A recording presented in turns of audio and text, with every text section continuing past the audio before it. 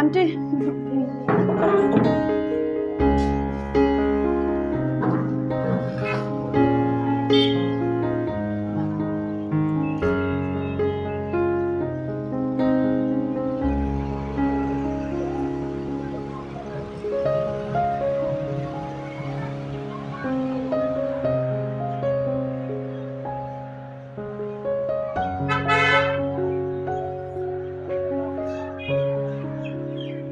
थाहा छैन।